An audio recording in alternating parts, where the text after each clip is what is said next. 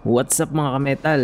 Pinoy Welder here mula dito sa Quebec, Canada. Welcome sa ating part 2 ng CWB Practical Test 1G to 4G 3.8 inch thickness with backing plate FCOW process. From the last video ay natapos na natin yung 1G at 2G at naipasa natin silang pareho. So kung hindi nyo pa siya napanood ay pakibrowse nyo lang dito sa ating page. So actual video ito sa mismong testing center dito sa Quebec, Canada. No? At sa video ito ay dumako naman tayo sa 3G at 4G. Ang setting ko dito ay 26.5 volts at 320 naman ang wire speed. Para lang bigyan ko kayo ng ideya, no? naglalaro lang sa 25 hanggang 27 ang voltahe ko sa lahat ng position ko mula flat hanggang 4G. Tapos mga 300 to 350 naman ang wire speed. So kayo nang bahala magtimpla. No? Dito sa vertical, pwede tayo mag-start kahit sa anong side. Pwede sa may bevel at pwede din naman sa walang bevel. Pero ang rekomendado nila, mag-start tayo sa walang bevel. So, yung unang root pass, patitigilin niya ulit tayo sa bandang itaas kung saan siya guguhit tapos ipapakita natin ito sa kanya bago tayo magpatuloy. At pwede na din nating hinangin yung pangalawang root pass. And again, wag nating kalimutang tumigil kung saan tayo pinapatigil. At tawagin naman natin ulit siya bago tapusin yung pangalawang root pass. Muli, hindi ako magsasawang ipaalala sa inyo na huwag na huwag kayong lalagpas kung saan tayo pinapatigil kung hindi ay reject na yung plate nyo. At syempre, pauulitin kayo. At sa pangalawang ulit at ganun pa rin, wala na, pagsak na kayo.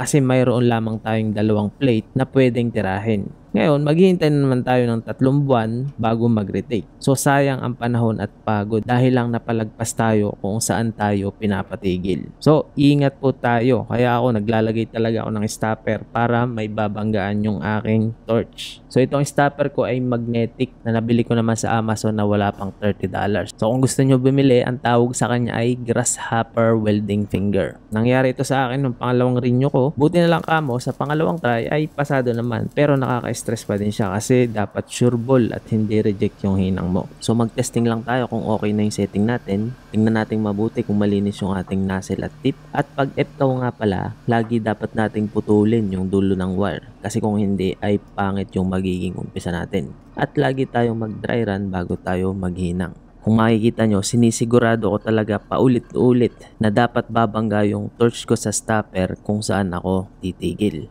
Sa mga nagtatanong naman, paano daw mag-apply sa Canada? Through agency lang po, pinakamadali at pinakamurang paraan para makarating dito sa Canada, lalo na kapag skilled worker ka. Base po yan sa experience ko at pati na din yung mga kakilala ko dito sa Canada. At syempre yung mga nagko-comment din sa videos natin. Pwedeng online, dapat lang maganda talaga yung resume nyo at cover letter. Ngayon lahat pwedeng online na. Online interview, online trade test, pwede na rin yan ngayon. Madami na akong kakalalang ganyan na na-hire through agency kahit nasa abroad sila. Yung isa habang nasa Japan siya at yung lima naman habang nasa Saudi sila. At pwede din namang walk-in syempre. Ayan, tapos na yung ating first route pass. Tumigil tayo kung saan tayo pinapatigil. You know the drill. Linisin lang natin to at tawagin natin yung instructor bago tayo magpatuloy. Pag nakita niya at sabi niya okay na, sige, diretso. And then pwede na tayo magpatuloy dun sa isa namang route pass. At wag natin uling kalimutan kung saan pinapatigil. At ito na yung itsura ng ating first root pass.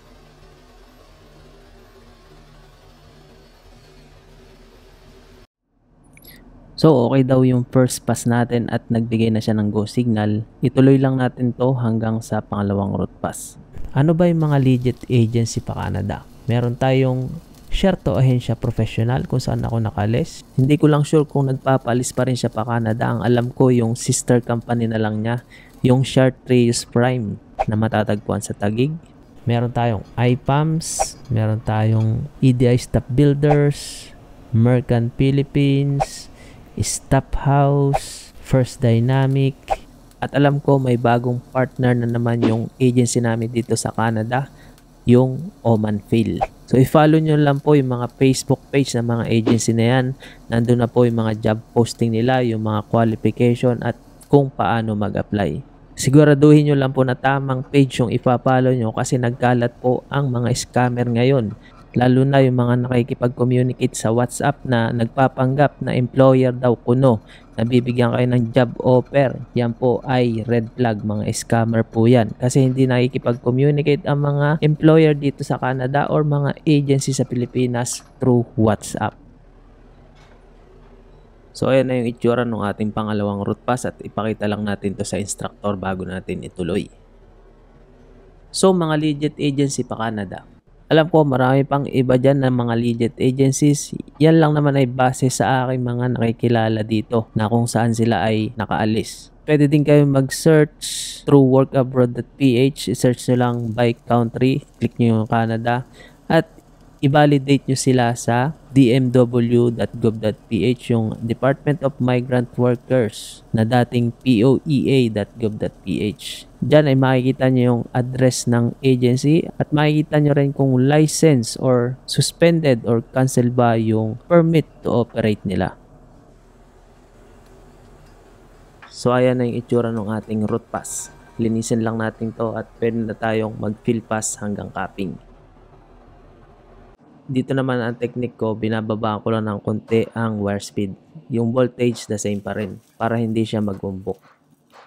Yung mga agency ko pong nabanggit na yan sa inyo, yan ay mga walang placement fee. At dapat naman talaga lahat ng agency pa Canada ay walang placement fee kasi may agreement ang Canada at Pilipinas na ang employee na i-hire nila ay walang babayaran. Kaya pag may agency kayong inaplayan at naniningil na kaagad, umpisa pa lang, huwag nyo na pong ituloyan. Kasi kadalasan sagot ng employer yung medical, biometrics at visa application. Ang gagastusin nyo lang dyan ay syempre yung mga basic requirements like pagkuha ng passport, NBI clearance at police clearance sa mga bansang pinanggalingan nyo for the last 10 years at syempre yung pamasahe nyo.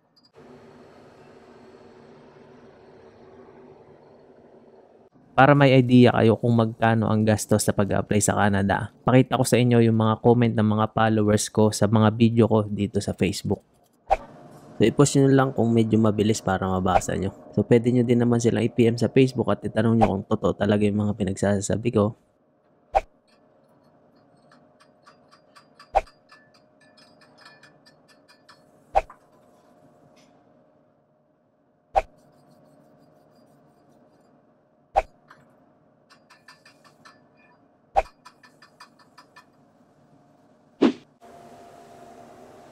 So ito na yung ating first capping.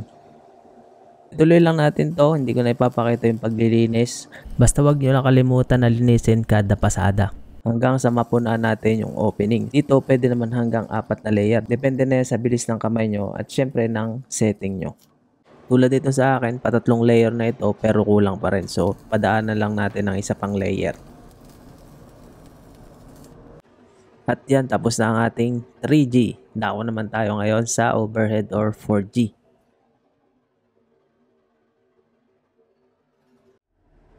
So, ganun lang ulit. Same instructions lang. So, hindi ko na siya ulitin. Ang setting ko naman dito ay 25.8 volts at 320 naman ang wire speed.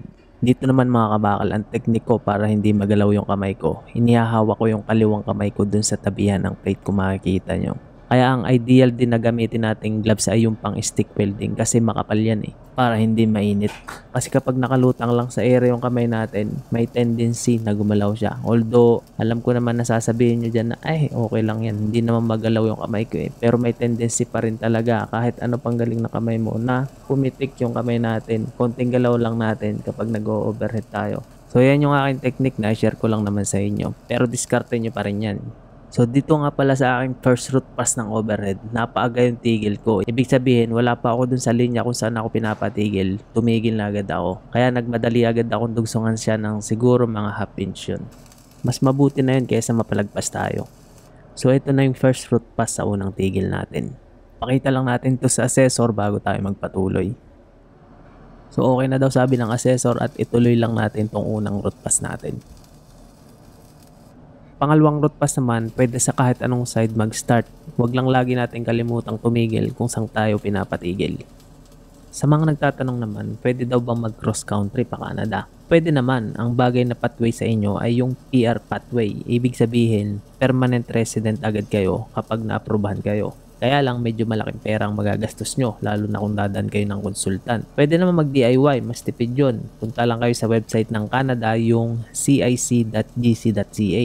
Gawa lang kayo ng account dyan, tapos click nyo yung immigrate, tapos pili lang kayo ng pathway na bagay sa inyo. So andyan na pong lahat ang step by step at mga requirements na kakailanganin nyo. Ang sikat na pathway papunta dito ay yung express entry na tinatawag. And there you go, ito na yung ating second route pass sa pangalawang tigil. Ano daw bang age limit pag Canada? Usually hanggang 45 siya pero may ibang agency din naman na tumatanggap pa hanggang 50.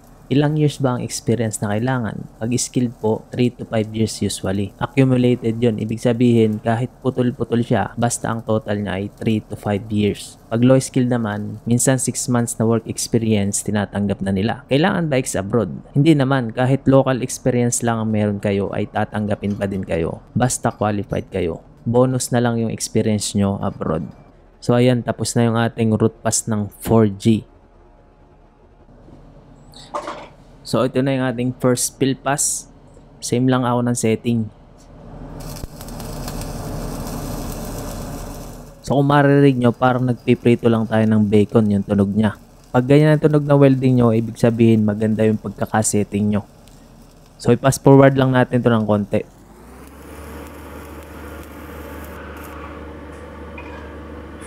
So let's take a look at our first fill pass. Wow, English!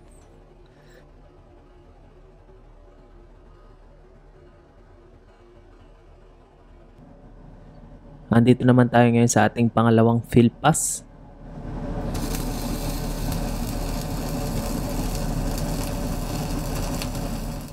At pass forward lang natin ulit siya.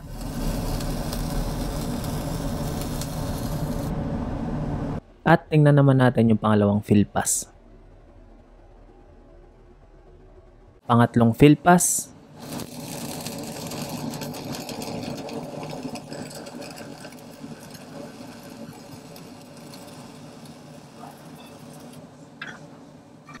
Ito na yung itsura ng third fill pass. Pang-apat na fill pass naman tayo.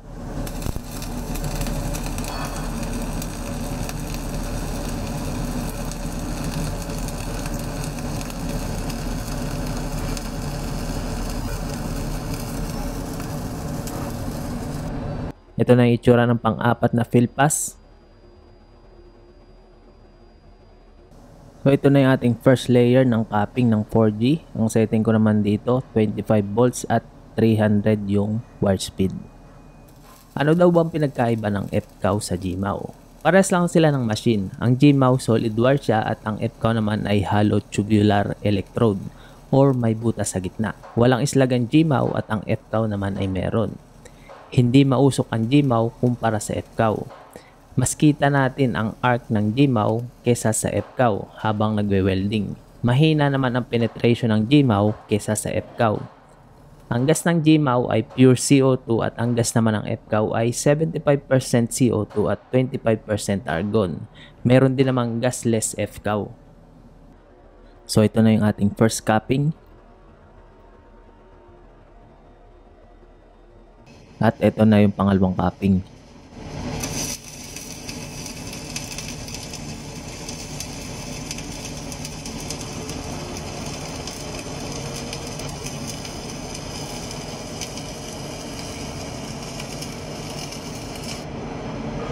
Ito naman yung itsura niya.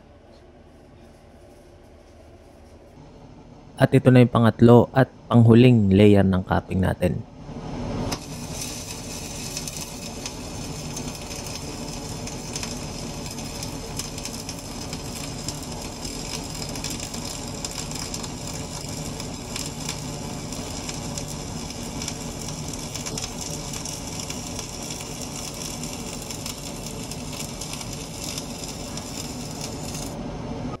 At yan, tapos na ang ating 4G. So ipamiling lang natin yung backing plate, then i-grind natin, tapos hati natin siya sa tatlo. Ang paghati nito, i-discard natin yung magkabilang dulo and then hati natin yung tira sa tatlo. Kailangan at least 1.5 inch ang lapad niya. Pwede tayong gumamit ng acetylene o kaya naman ay zipcut. Kaya lang hindi sila nagpo-provide ng zipcut. Acetylene lang. Ito na yung itsura niya nung mag-grind yung capping at i-grind naman natin yung tirang backing plate. At ito naman yung itsura niya nung mag-grind na yung backing plate at mahati sa tatlo. Apat na position na yan. At ready na for bentes ito.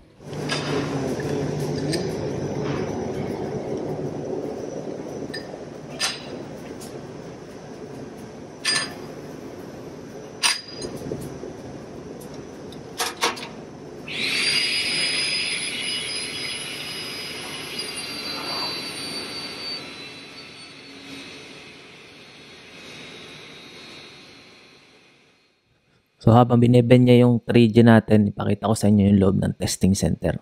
Yung mga cubicle kung saan nagwe-welding at yan naman yung cutting area nila. At ayan naman yung mga provide nilang gamit like face shield, grinder, tsaka brush.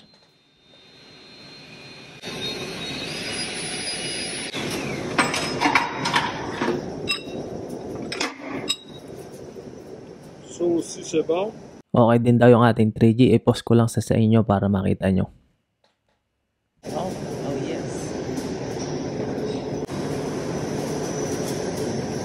Lang.